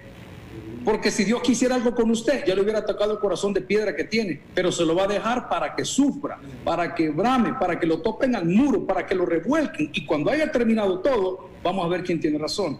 Ese es el postulado en cuanto a aceptar a Cristo, ¿no? Ahora, las palabras de odio muchas veces son porque no se dijeron las cosas de la manera correcta. José Luis, más de alguna vez alguien llegó diciendo, fíjate que el Toby dice que tu programa tal cosa. Y José Luis dice, ¿y quién dijo eso? Él, dice el. Y ahí comienzan a ponerlos a pelear. ¿Se acuerdan de un personaje, queridos amigos y hermanos, que se llamaba Don King? Es un moreno de raza, pelos parados, que preparaba las mejores peleas en la época de Mike Tyson y toda esta gente. Bueno, estos muchachos que andan de Yevi trae son los que están poniendo el país en llamas. Eh, una persona con una cuenta anónima en redes sociales, una persona con una cuenta anónima en cualquier... Ponen y ponen el país en llamas. Yo se lo digo a la gente, mire, mi única petición es que si usted está consciente de lo que estamos hablando, no participe. Vaya, ríase del meme, pero no lo retuitee. La Biblia dice que no participemos de las obras infructuosas de la carne. Esto, José Luis, el odio nunca da buenos resultados. Si yo siembro odio, cosecho odio. Y se lo voy a ilustrar a través de uno de los niños que tengo en nuestro hogar infantil, orfanato o albergue, como le quiera llamar. Tenemos un caso de un menor de edad que tiene una actitud, pero una actitud tan fuerte que los maestros, los trabajadores sociales, el psicólogo dijeron, hay que entrarle por este lado, hay que ser fuerte con el muchacho. Y nos dimos cuenta que entre más fuerte éramos, más fuerte se ponía él, más resentido se ponía él. Y de repente decidimos amarlo, amarlo como nadie lo había amado, amarlo como su mamá no lo amó porque lo dejó olvidado en un orfanato, amarlo como su papá, que jamás lo reconoció, lo ama porque tampoco le dio el apellido. Y cuando comenzamos a amarlo y a dejar de poner odio en el joven, mira, tu papá te dejó, tu mamá te dejó, mira dónde viví, no tiene futuro, Ahora el cipote se me acerca y dice, pastor, yo quiero que me ayude a cumplir mi sueño. Le digo, ¿cuál es tu sueño? Yo quiero ser un piloto aviador. Le digo, bueno, no depende de mí, depende de ti. Y comenzamos a ver el cambio de actitud en la persona porque ya no estamos promoviendo ni sembrando odio, ni recordándole atención. Como dijo el doctor Lucas del Evangelio de Lucas y del escritor de los Hechos, no le estamos recordando cosas que entre nosotros fueron ciertísimas. Porque es cierto, no tiene mamá, no tiene papá, no tenía futuro, hasta que pudimos nosotros, por la ayuda de la iglesia, ayudarle, valga redundancia, a desarrollar su vida. Ahora, recordarle su pasado no le ayuda al muchacho a prosperar, no le motiva. Entonces, no sembremos odio. ¿Por qué? Porque la Biblia y la naturaleza lo afirma y confirma cuando dice, todo lo que el hombre sembrare, eso también se gana. Ahora, pastor, mi testimonio, ha dicho usted, es la Biblia que la gente ve en una sociedad polarizada como la nuestra, ¿qué podemos decir, pastor? O sea, tenemos un país dividido. Eh, unos dicen que es el 98%, otros dicen que es el 2%, que es el 3%, 97%. Es el mismo país, pastor. Totalmente de acuerdo, José Luis. Y podemos tener divisiones siempre y cuando no nos faltemos el respeto. O sea, hay gente que le va al FIRPO y otros le van a la alianza y por eso no tenemos que tirarnos piedras, aunque siempre hay unos que tiran. Pero voy al punto, no tenemos nosotros por qué entrar en ese campo de batalla en o por la mente. Ahora bien, cuando yo hago esa afirmación en los cultos, José Luis, es lo mismo. Mire, a mí me gustan las cosas raras, eh, tengo muchas aficiones que para los televidentes son feas. Eh, para la gente que no nos conoce, José Luis, ellos creen que uno está al final del culto con el canasto y me llevo el canasto a la casa a ver qué me compro.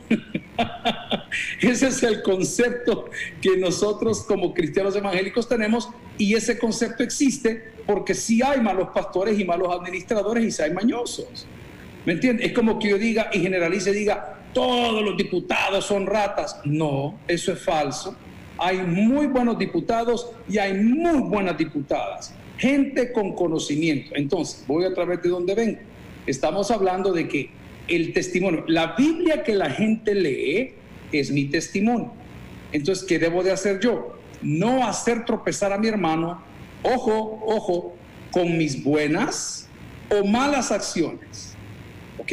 Con mis buenas o malas acciones. A ver, José Luis, nos vamos a ir a tomar unos coctelitos allá al puerto de la libertad, pero resulta que el cámara que está ahorita usted de frente destapó dos cervezas y las puso en la mesa. Usted y yo no bebemos, pero el cámara digamos que sí bebe. Nos toman la foto al regresar, cervezas en el taber. A eso. Entonces nos damos cuenta que a pesar de que no me lo prohíbe la Biblia, no me lo prohíbe la iglesia, hay cosas que no debo de hacer porque la Biblia que la gente lee es mi testimonio. Ahora, pastor, no puedo evitarlo. En la política hay muchas tensiones. En esta campaña ya comenzaron a destruir vallas, a insultarse unos a otros y hay candidaturas que todavía no están inscritas. Pastor, eh, ¿cómo podemos reflexionar para apostarle al diálogo y que en vez que exista odio, descalificación, sean propuestas y la gente puede elegir de una manera democrática y sin agredir al vecino o al que está enfrente y poder convivir todos, porque el país tiene un espacio para todos, pastor. Así es. José Luis, conocer las reglas, conocer el manual del fabricante, conocer el mapa del recorrido, me facilita todas las cosas. Usted tocaba un tema muy importante, el Tribunal Supremo Electoral, que en más de alguna oportunidad, no siempre, pero más de alguna oportunidad nos ha generado dudas. Yo insisto en las elecciones pasadas porque tengo amigos que participaron por la derecha, por la izquierda y otro la nueva renovación que estaba saliendo en aquel momento. Y curiosamente sale el apagón, y fulano es el más votado, pero el otro de no sé dónde. Por favor, seamos honestos. Entonces, ¿tiene derecho la gente? ¿Tiene derecho la gente? Es un derecho de la gente tener una duda. Freedom of speech, eh, eh, eh, la expresión, el, derecho a, a expresarme. La gente tiene derecho. Entonces, el tribunal no debe de tomar las cosas tampoco como que la gente los odia. No, quizás un grupo sí, pero no todos. Ahora bien, los candidatos y las candidatas que van por alcaldías y por diputaciones tienen reglas que cumplir, José Luis. Si esa persona no levantó las firmas, no se puede inscribir. Pero es que le vamos a ir a dar fuego a los carros. Pero es que las reglas dicen que no se puede inscribir. No, pero es que mire, a mí no me dieron de allá del visto bueno, no sé dónde, y me hicieron chanchullo. Pero es que las reglas ya están escritas, José Luis. El problema, como lo sabemos todos, es que echa la regla, echa la trampa. Entonces, no podemos incendiar a un país entero porque no cumplieron el capricho que yo tengo. Mire, el otro día venía de predicar de Sonsonate y lo he contado más de cuatro veces en los cultos, pero como usted no lo ve, se lo va a contar. Resulta ser que venía de predicar de Sonsonate y venía a 110 kilómetros por hora. Cuando de repente José Luis tenía un agente de la PNC, tamaño cipotón, y me pone el, la, digo pistola porque así le llaman para medir la velocidad, no era un arma de fuego, era para medir la velocidad, el radar, el radar.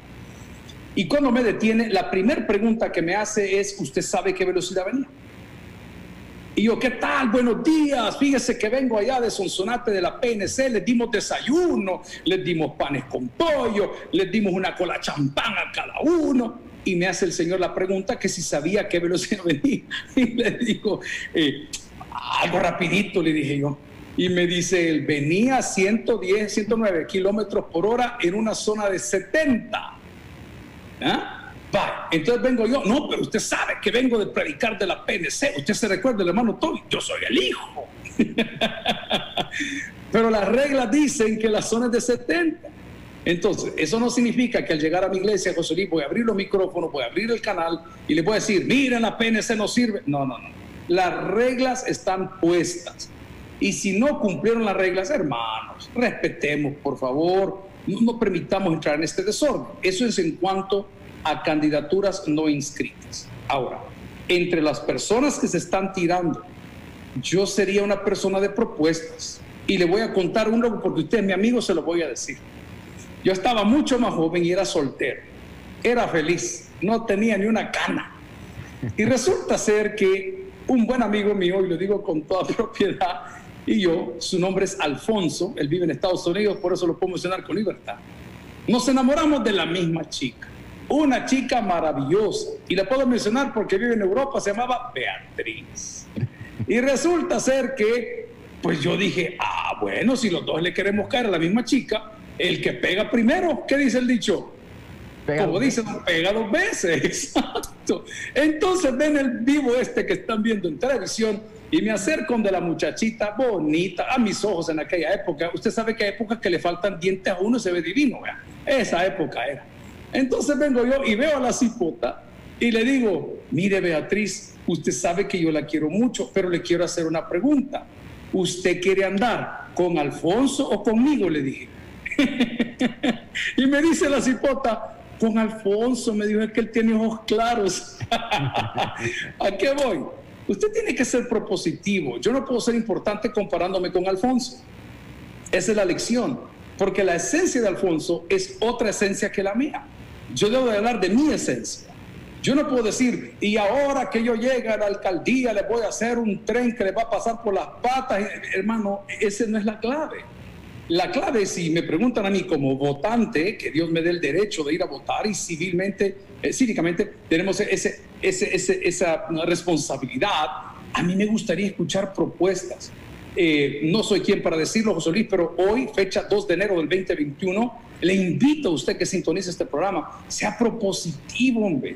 Por favor, no sea del montón. Si usted va a llegar a un debate para hablar mal del que tiene al lado, usted no tiene nada que ofrecer si usted va a llegar al debate a hablar mal de un partido, usted no tiene nada que ofrecer. Mire, las personas que tienen algo que ofrecer no tienen tiempo de fijarse en la bobería del que tienen al lado, porque están avanzando, están proponiendo. Mire, yo tenía algunas cosas acá para poder disfrutar el año y su campaña política también. Por eso le dije que si me agarra de asesor, yo se la suelto. Primero, sea creativo, hombre. Sea creativo. Yo entiendo que ciertas frases venden, está bien pero en sus propuestas sea creativo. Número dos, sea curioso, indague, vea qué puede hacer por la gente. Eh, nosotros vamos a seguir con las carreteras. Dígame qué puede hacer. En tercer lugar, tenga perspectiva. Por favor, tenga claro qué es lo que usted quiere hacer. Luego, por favor, tenga un cronograma, igual que una construcción. Usted solo va a tener, si va a ser alcalde, sus años, si va a ser diputado, usted no tiene toda una vida. En inglés se dice, don't bite more than you can chew. No muerda más de lo que puede masticar.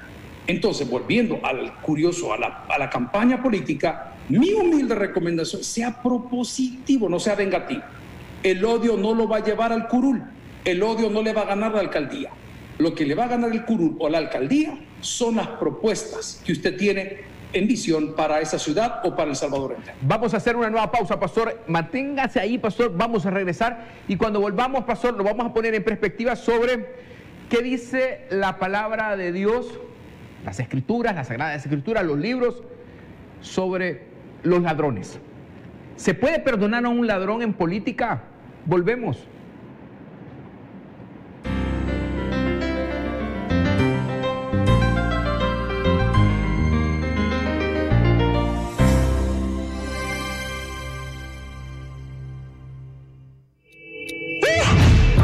Porque te mereces lo mejor.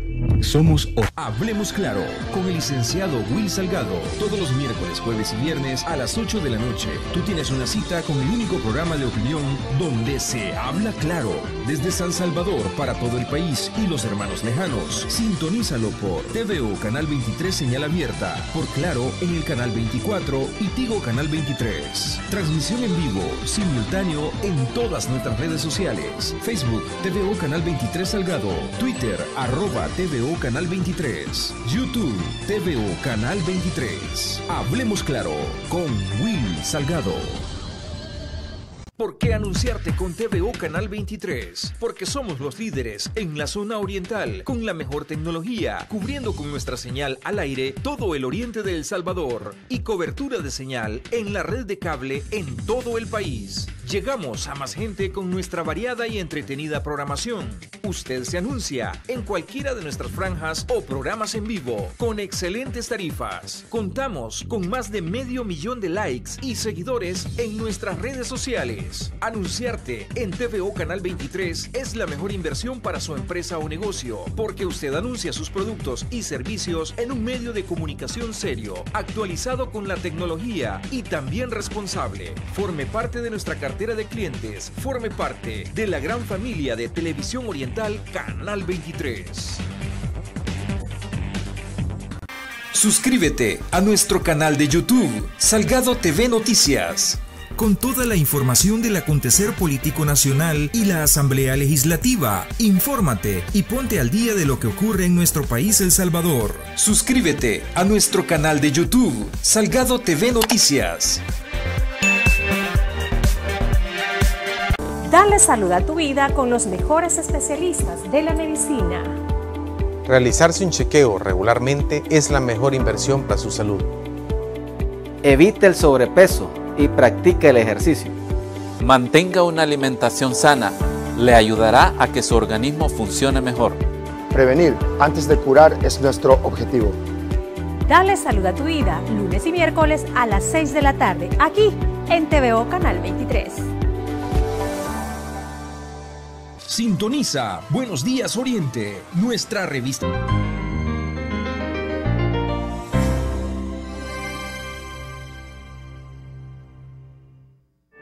Gracias por continuar con nosotros. Pocos minutos para que vayamos concluyendo nuestro programa del 2021 con el pastor Edgar López Beltrán.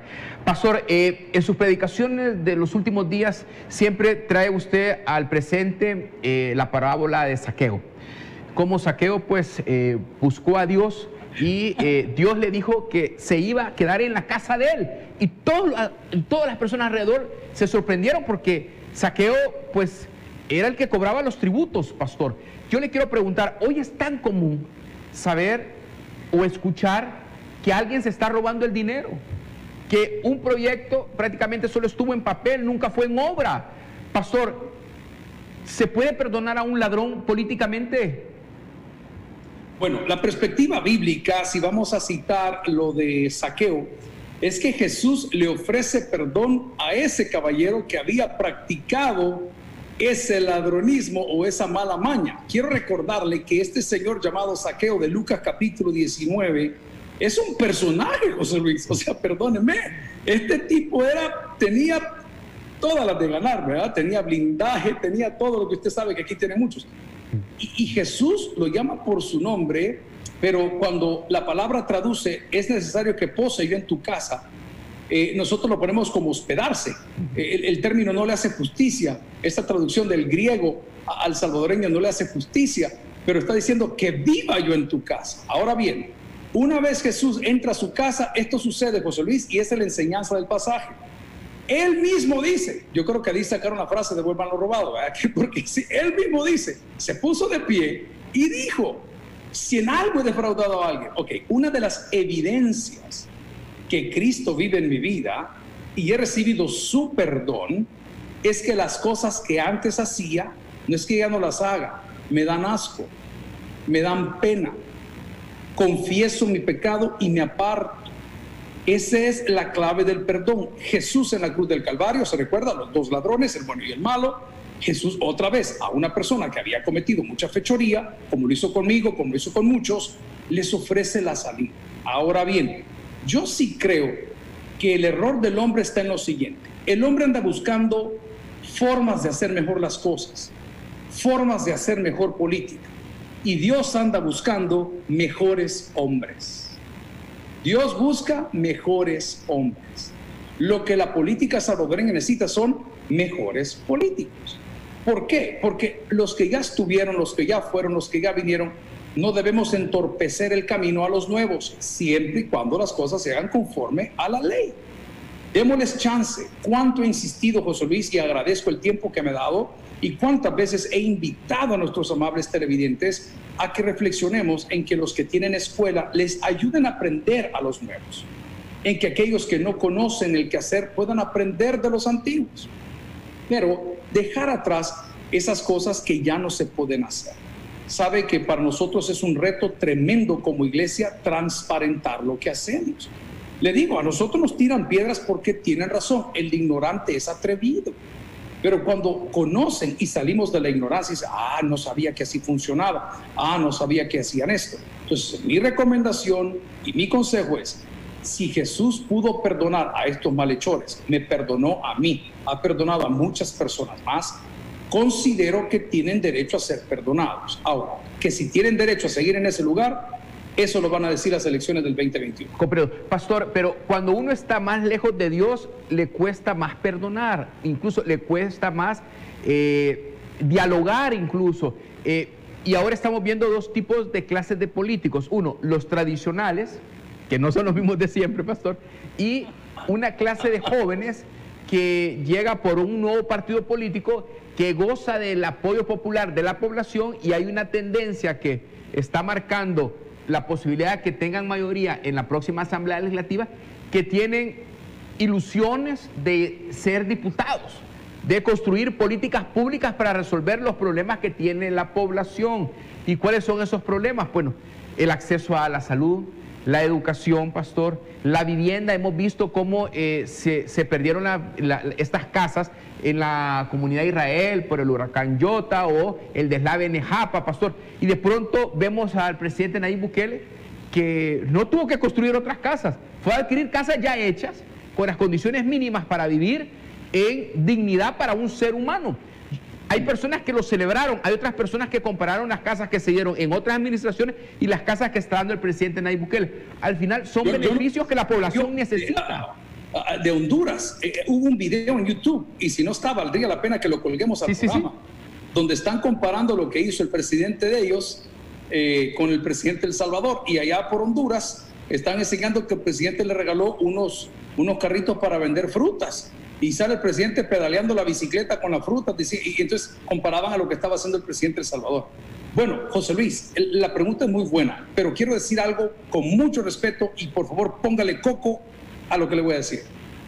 Lo popular no necesariamente es lo correcto. Lo voy a llevar a la época de Barrabás y Jesús. ¿A quién le soltamos? Le decían al pueblo. ¿A quién le soltamos? Le decían al pueblo. Y Barrabás, traducido es el hijo del hombre. Barrabás el Hijo del Hombre, él peleaba, era un Robin Hood de su época. Entonces la gente lo amaba en aquel entonces. Entonces es bien interesante que cuando está lo correcto y está lo popular, nosotros los cristianos debemos de optar por lo correcto. En este caso Jesús era lo correcto. De, hablando ya de los nuevos candidatos que quieren llegar al curul, que están haciendo una campaña nueva. Excelente. La pregunta es, José Luis, la que tiene la población, este cristiano, este predicador, ¿a quién vamos a obedecer? a la constitución de la política o al partido que representen en cualquiera de los colores, izquierda, derecha centro. Entonces, el diputado que ose, que desee llegar a la Asamblea Legislativa, no tiene que obedecer las líneas de su partido, tiene que obedecer las líneas de la Constitución de la República El Salvador, la cual es sagrada. Entonces, voy otra vez al punto, vamos a retroceder. Solo dejo sobre la mesa, lo popular no siempre es lo correcto. Las personas nuevas no significa que van a llegar, pero ¿cuál es su deseo? Vale, se lo voy a poner de esta forma. Hay gente que dice, y lo digo de una manera bien coloquial, hay gente que dice, yo tengo sangre de pitbull. Y le digo yo, ¿pero qué es tener sangre de pitbull? Yo solo obedezco al que me da de comer. Eso es bien, es bien difícil, porque estos cargos públicos, como lo es un pastorado, nosotros nos debemos a la palabra del Señor. Entonces, yo no puedo decir, yo obedezco a mi papá, a mi hermano, a mi primo, a mi hermano, a la organización, si lo que dice mi primo, mi papá, mi hermano está en contra de la palabra de Dios.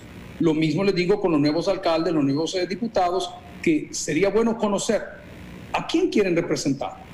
¿Quién representar a su partido o quién representar al pueblo salvadoreño? ¿Van a legislar para su partido o van a legislar para el pueblo salvadoreño? Entonces, ese balance es muy importante. Yo sí me siento contento de ver a jóvenes preparados con grado académico. ¿Es indispensable? Perdóneme, en mi opinión, sí. En mi opinión, sí. Porque nos da mayor capacidad, por eso se llama universidad, universalidad de, pensamiento. Su mente es mucho más abierta.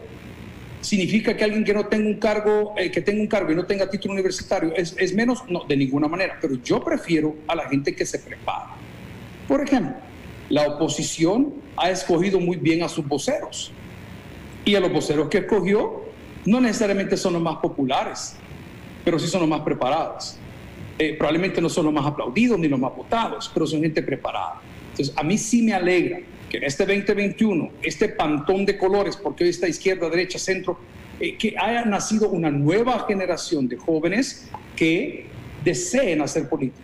Y no estoy en contra tampoco, en mi opinión personal, en que algunas de las personas que están o estuvieron o estarán en la Asamblea Legislativa permanezcan. Se lo voy a poner de esta forma, José Luis, siendo muy respetuoso. Tengo un amigo que ya está grande. Eh, este señor tiene una finca y en la finca tenían un buey viejo que se llama dibujo. Así se llamaba el buey.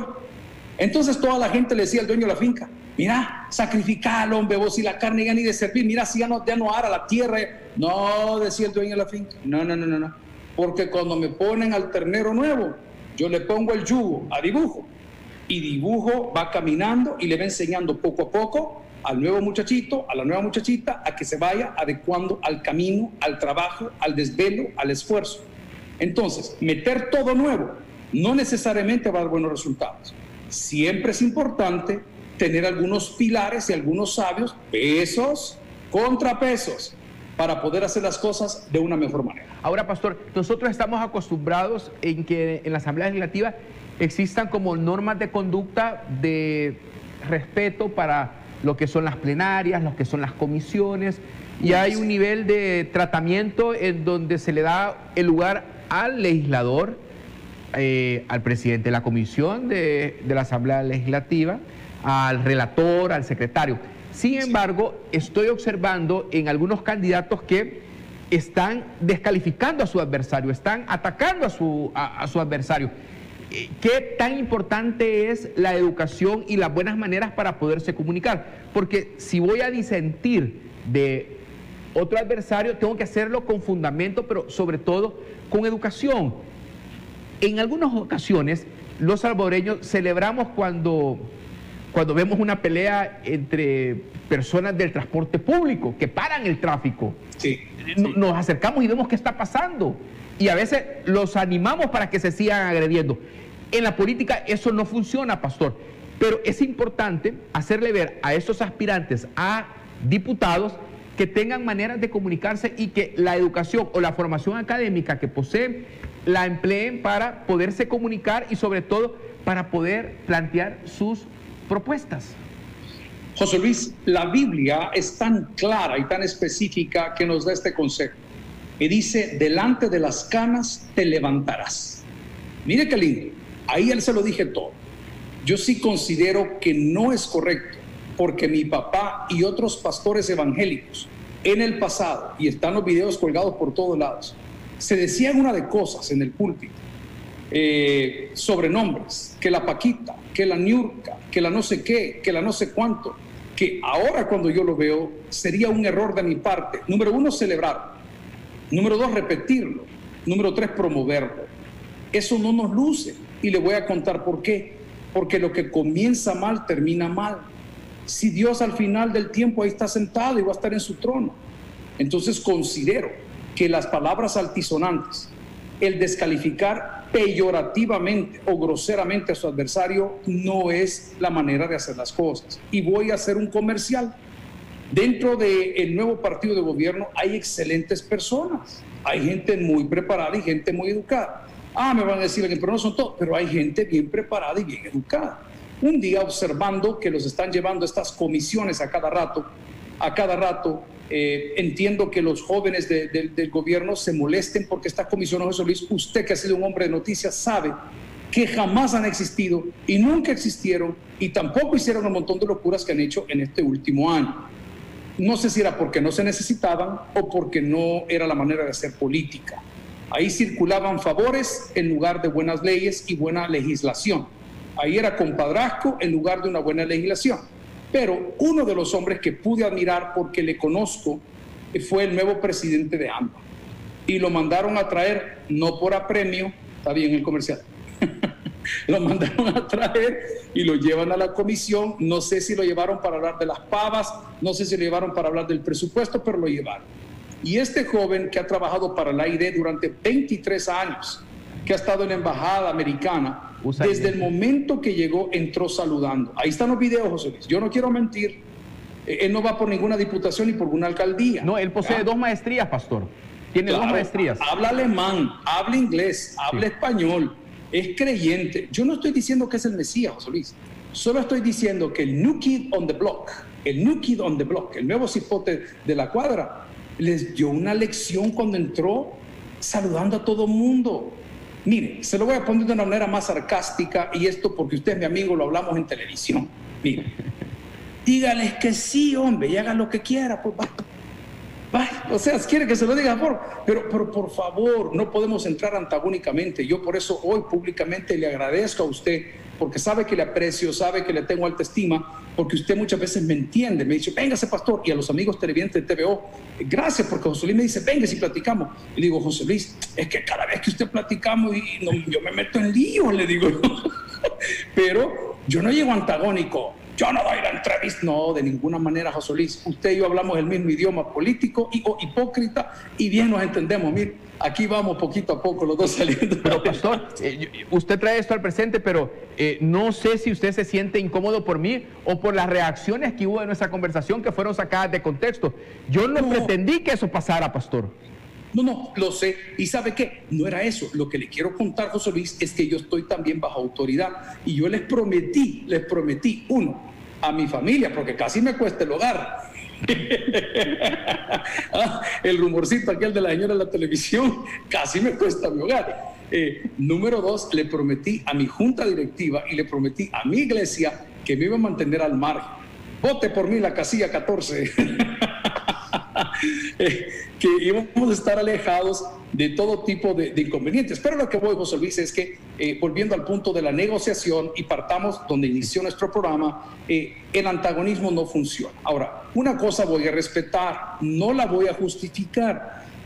Son jóvenes, José Luis, son jóvenes. Eh, a esa edad yo era quizás más impetuoso. La mayoría de personas que hoy les critican, ¿sí? sus actitudes y, y la manera que andaban con armas matando gente y volando puentes, ¿o no? ¿O estoy mintiendo? ¿Estoy mintiendo? Díganme. No. ¿Ah? Entonces, están- ellos están criticando a lo que muchos gritan. Está bien, no hay problema, cállese. Yo vi un diputado de derecha levantarse. ¡Ih! Fatal. Yo no sé si era su curul o si era la mesa donde está lo- lo- los más pesados ahí de la Asamblea.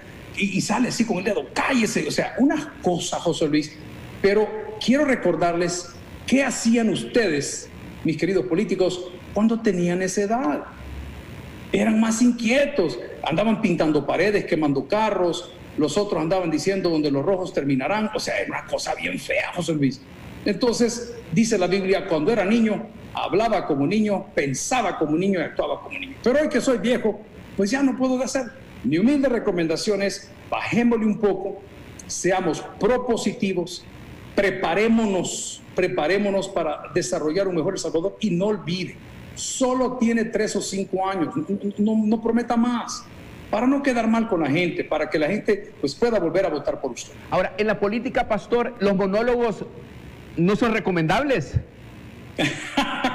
Esta frase la sacó de mí. es que miren, eh, el sermón es una cosa, ¿sí? Pero la política es un diálogo.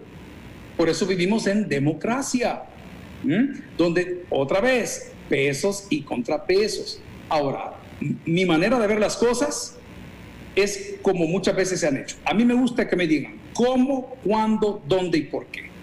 Pero si para cada accionar, José Luis, yo tengo que venir a hacer una cita y venir a preguntar, eh, las cosas se complican. Quiero que no olviden, queridos, que el año 2020 ha estado eh, o hemos estado en pandemia. O sea, este manejo de la crisis, bueno, malo, regular, nunca nadie de los últimos presidentes de la historia de El Salvador, hoy con nuestro bicentenario, lo han vivido. Entonces es bien complejo. Yo estoy de acuerdo que hay cosas que tal vez se pudieron hacer mejor. Pero quiero recordarle que, que nadie estaba preparado para esto. Mire, se lo voy a decir del fondo de mi alma.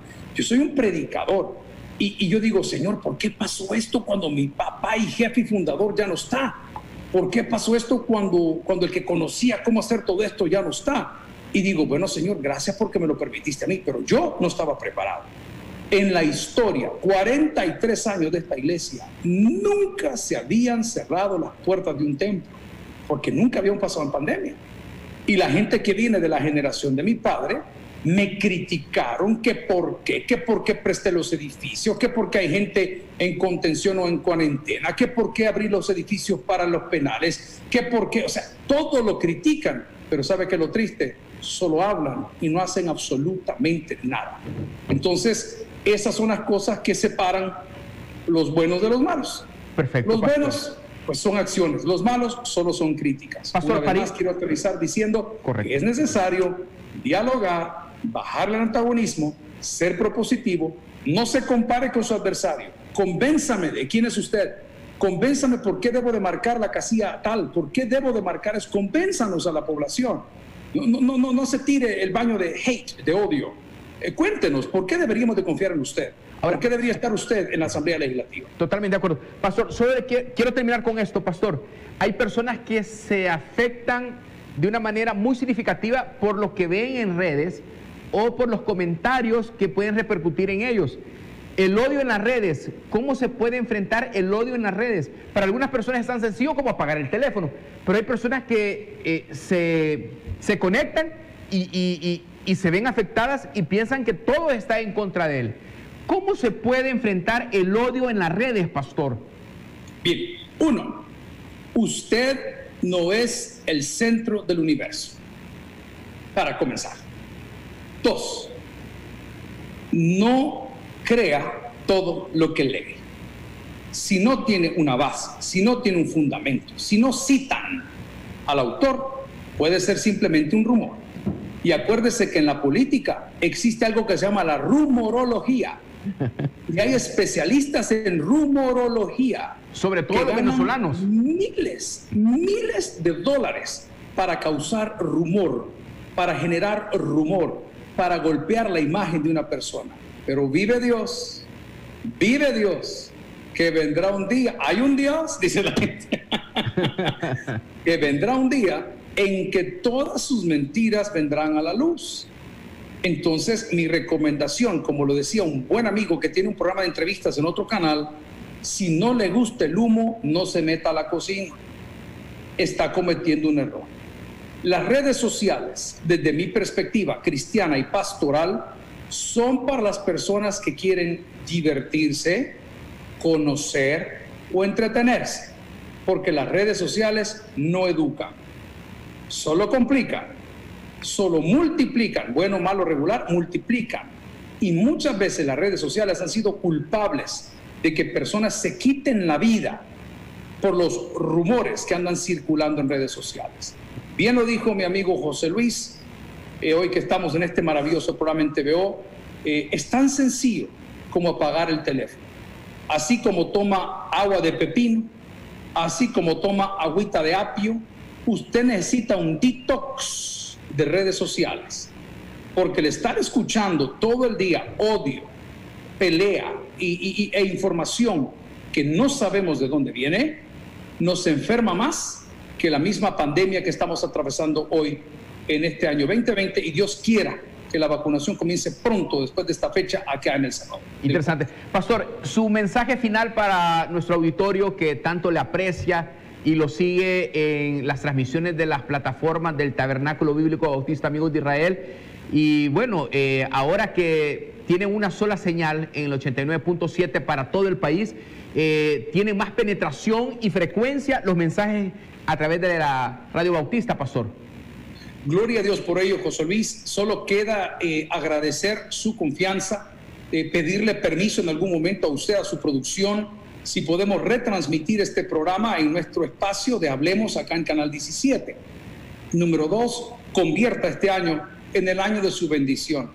La bendición más grande no es un carro, ni la visa, ni los papeles norteamericanos ni canadienses. La mayor bendición es ser perdonado por Dios a través de su Hijo Jesucristo. Tres recomendaciones para que esto suceda.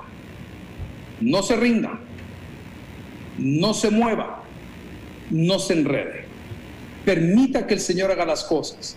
No se queje, sea propositivo, sea creativo, sea curioso, desarrolle sus talentos. Este puede ser literalmente, por muy negativo que sea el mundo, el mejor año de su vida. Comience hoy, invite a Jesús a su corazón. Siempre se lo digo, José Luis, a cualquier situación Jesús es la solución. Hombre, pruebe a Jesús Si no le funciona, le devolvemos sus pecados. Pastor, pase una feliz noche. Gracias por la oportunidad que me ha brindado de conversar con usted y sobre todo de acercarme pues a esa misión que usted tiene como pastor, no solo pues de la filigresía del tabernáculo, sino todas estas filiales que tiene eh, en el país, fuera del país, en Europa, en donde pues la palabra de Dios llega y sobre todo salva corazones, salva personas y les da ese alimento espiritual que tanta necesidad hace ahora cuando empezamos un nuevo año y tenemos 365 oportunidades para hacer las cosas diferentes y mejores. José Luis, agradecido con usted, con, con, la producción. Cristino Méndez, que es el que nos ha enlazado. Buen trabajo el que ha hecho, no nos ha fallado la señal, el internet estuvo a todo dar. Un saludo a Will, a su hermano, a su familia. Él sabe que siempre está en mis oraciones. Les hemos acompañado en las diversas etapas y distintas etapas de sus vidas. Un feliz, próspero 2021, el año de nuestra bendición. Recuerde, no se rinda, no se mueva y no se enrede. Que Dios les bendiga a todos. Bendiciones, pastor, a usted y a su familia. Hasta una próxima oportunidad. Era el pastor Edgar López Beltrán. Él es el pastor general del Tabernáculo Bíblico Bautista Amigos de Israel. En esta oportunidad, pues, iniciando y arrancando año. Hasta el día de mañana vamos a tener una nueva entrevista. Van a estar con nosotros candidatos a diputados siempre a través de TVO. Conéctate con José Luis Solórzano. Mañana domingo vamos a las cinco y media. Hasta entonces, si Dios así lo permite. Buenas noches.